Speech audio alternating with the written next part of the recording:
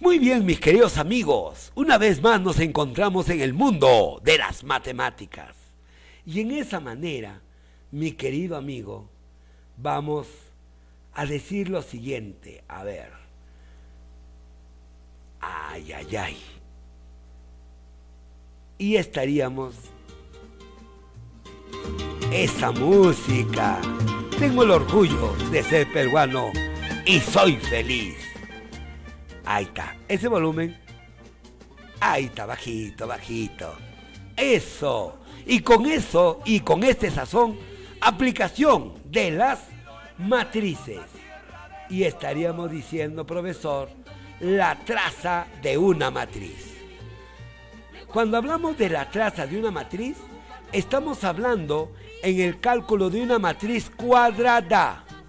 No hay el cálculo de una matriz, de la traza de una matriz, en otra característica de matrices, solo en una matriz cuadrada, de 2 por 2, de 3 por 3, y nos dice, la traza de una matriz cuadrada, A, se define como la suma de los elementos de la diagonal principal. Ah, la suma de la diagonal principal. Ahí tenemos, por ejemplo, tengo esa matriz. Ah, profesor, si yo tengo esa matriz, yo estaría diciendo, por ejemplo, esta es la matriz A. Lo voy a copiar, profesor. Este es menos 11, este es 2 y este es 8. Este es 2, este es 20, este es menos 3, menos 4, 1 y menos 6. Ahí está. Entonces, la traza, no te olvides la palabra traza, es sumar toda la diagonal principal. ¿Y quién tiene la diagonal principal? Una matriz, ya sea de 2 por 2, de 3 por 3, como es esto, tres filas con tres columnas. Entonces yo estaría diciendo que la traza de una matriz, la traza de una matriz, ah no, esta es transpuesta, esto es transpuesta, la traza de la matriz A, eh, mira, mira cómo se escribe, es igual a menos 11 más 20 menos 6. Esto sería igual. 20, a ver, menos 6 menos 11 menos 17. 20 menos 17 sería igual a 3. La respuesta. Ah, esa es la traza. La suma de la diagonal principal. Profesor, esto nos diría lo siguiente entonces. Perfecto. Ahora veamos. Listo. El siguiente. Recuerda. Recuerda que si yo voy la diagonal para arriba, se llama diagonal secundaria. Si lo llevo para, para abajo como la, lo pintado de azul, la línea de azul se llama diagonal principal. Y de esa diagonal principal se hace la traza de la matriz. ¿Ya? Entonces, no te olvides. Perfecto. Ahora, veamos, profesor, el siguiente suma y resta de matrices. Ah, suma y resta. Otra manera de operación. Profesor, para sumar o restar matrices, ¿qué sucede? Que debe ser, y acá hay una cualidad principal, para sumar o restar matrices. ¿ah? Quiero que entienda lo siguiente.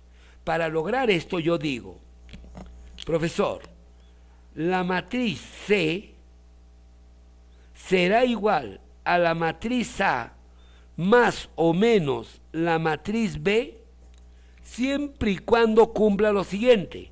Si esto es M por N, entonces él también debe ser M por N. Y él también debe ser M por N. Todos deben ser de una misma característica. Por ejemplo, profesor, yo quiero sumar la matriz, esta matriz, 2, 4, 1, 1, 0, 3. Sumarlo con la matriz 1, 2, 3, 5. ¿Podré sumar, profesor? No, no, profe. ¿Por qué? Porque esta es una matriz de dos filas por tres columnas. Pero esta es una matriz de dos filas por dos columnas, matriz cuadrada. Y no son iguales. Ah, entonces, profesor, ¿tienen que ser iguales? Claro. Entonces, por ejemplo, pongo de esta manera. Esta matriz, que es de dos filas con tres columnas, sumado con, una, con otra matriz de dos filas con tres columnas, sí se puede realizar. Y este de 2 por 3. Cuando las matrices son de la misma característica, me va a dar una matriz igual con la misma característica. Entonces yo diría 2 más 1, ah, significa que esto será igual. 2 más 1, 3. 4 más 2, 6. 1 más 1, 1. ¿Qué estás haciendo, profe? Que del mismo primera fila con la primera columna se ataca de la primera fila con la primera columna. Cuando ataco la primera fila con la segunda columna, también acá de la primera fila con la segunda columna.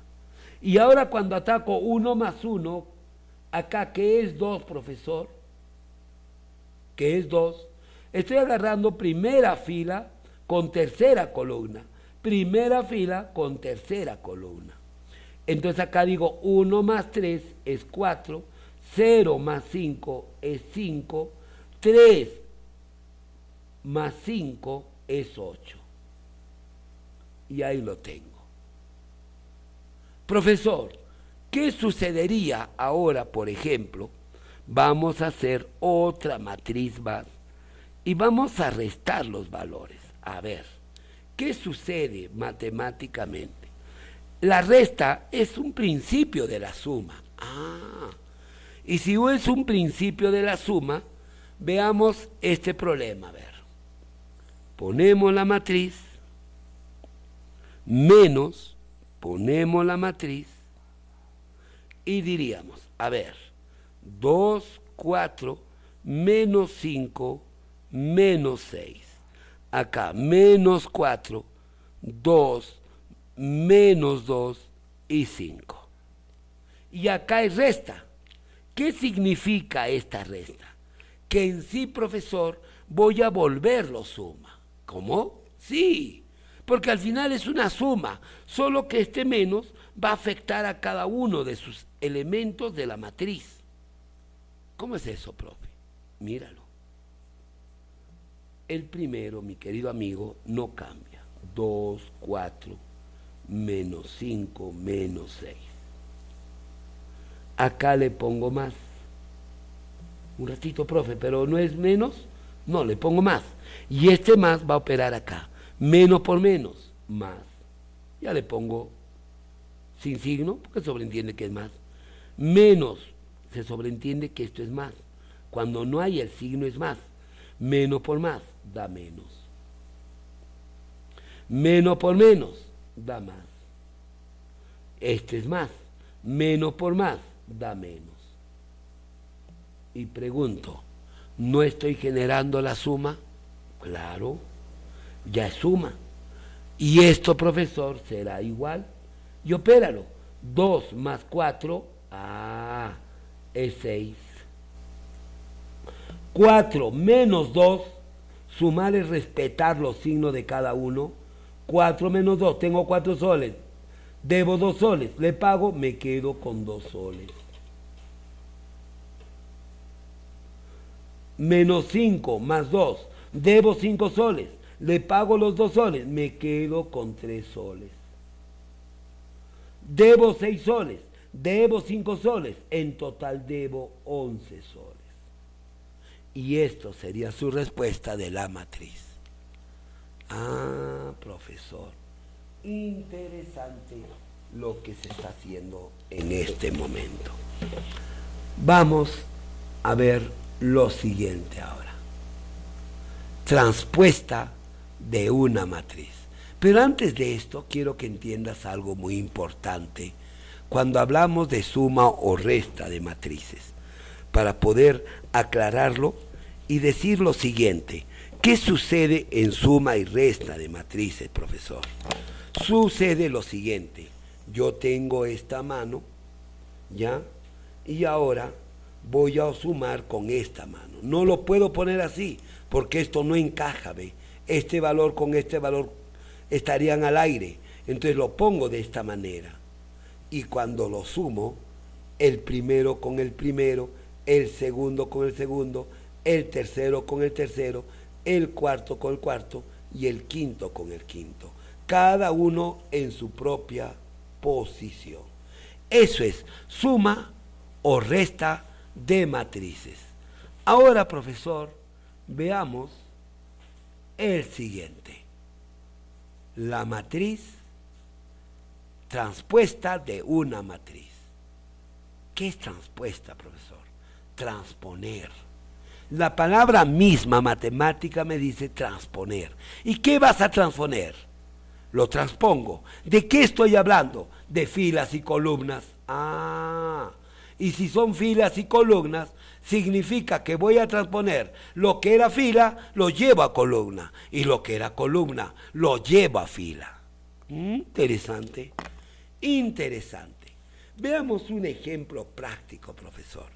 Yo tengo una matriz A y vamos a ponerlo 2, 3 y 5. 0, 1 y 4. Esta es una matriz de 3 por 2. Ah, una matriz rectangular. Ahora, la transpuesta, este es su símbolo. Voy a transponer. Lo que es fila se vuelve columna. Y lo que es columna se vuelve fila. Esta es la primera columna. Ahora se vuelve primera fila. 2, 3, 5. 2, 3, 5 se volvió la primera fila. Esta es la segunda columna. Se vuelve segunda fila. 0, 1 y 4. Y ahí tenemos la transpuesta de dicha matriz. Ve, date cuenta cómo la columna se vuelve fila y la fila se vuelve columna. ¿Y qué ha pasado? Que este valor ha cambiado. Este era 3 por 2 ahora es de 2 por 3. Date cuenta que es transpuesta. Agarra la columna y vuélvelo fila. Agarra la columna y vuélvelo fila. Esta primera columna ahora se vuelve primera fila. Esta segunda columna se vuelve segunda fila. Eso es el campo de la transpuesta. Ahora ¿Qué propiedades hay sobre la transpuesta, profesor? Ah, la transpuesta. ¿Te recordarás tú cuando hicimos lógica proposicional y hablábamos sobre la negación de la negación? Y que la negación de la negación es la verdad. Entonces, la transpuesta de la transpuesta viene a ser el mismo, la misma matriz. Cuando tú tienes para todo, vamos a poner acá, para todo, para todo. Profesor, si tengo A transpuesta, transpuesta y así, transpuesta, y acá hay T pares, significa que esto es A. Y para todo de nuevo, profesor, si esto lo tengo a la transpuesta, a la transpuesta, y esto transpuesta, y acá tengo T impares, impares, entonces solo es a la transpuesta. Date cuenta. Cuando yo te pida otro, cuando yo te pida, profesor, por ejemplo, A, su transpuesta, más B, su transpuesta, puedes solo hallar A más B, de modo natural lo sumas y luego al final le llevas a la transpuesta. ¿Ve? No es necesario que primero lo transpongas para luego sumarlo. Puede ser suma o resta. Quiero que entiendas. El tercer y cuarto caso es una constante. ¿Qué significa? Denante hemos visto la constante en el número 3. Mira el 3. Acá voy a dar algo importante en el 3. Denantes habíamos visto cómo profesor el menos pasaba a multiplicar a cada valor. Te recordarás esto, si yo le pongo menos una matriz de 1, 2, menos 3, 5 y 2, 0, por ejemplo, así, esto, ¿a qué era igual, profesor? El menos multiplicaba cada uno, pero ese menos en sí tiene la unidad y el menos 1 es el que está multiplicando, no es el signo solo.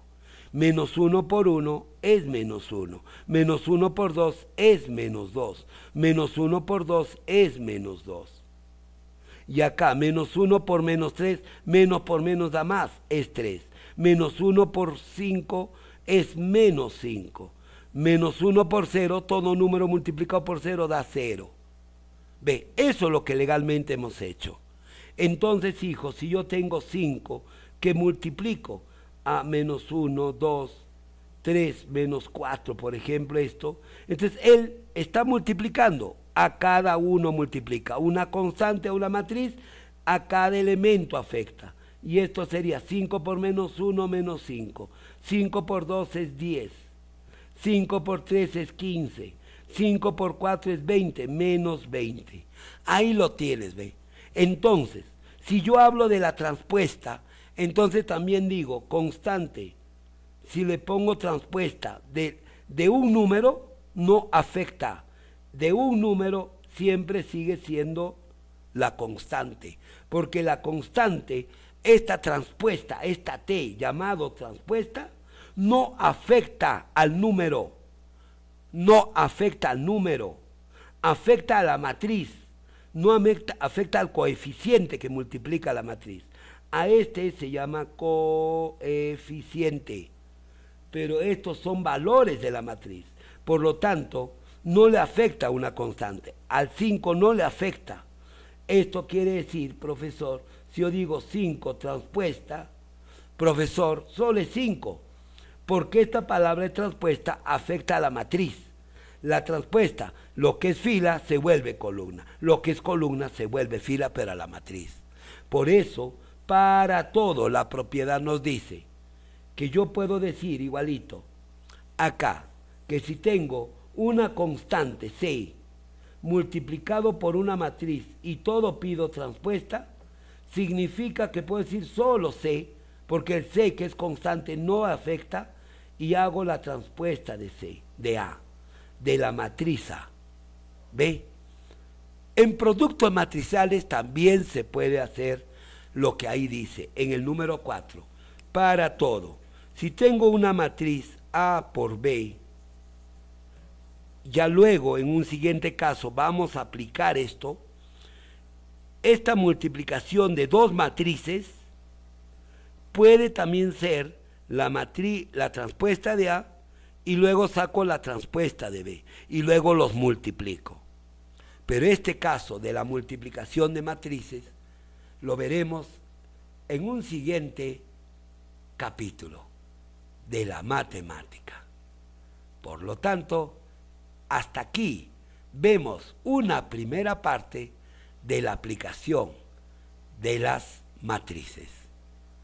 Recuerda, amigo, lo más grande de la vida es satisfacer a la familia.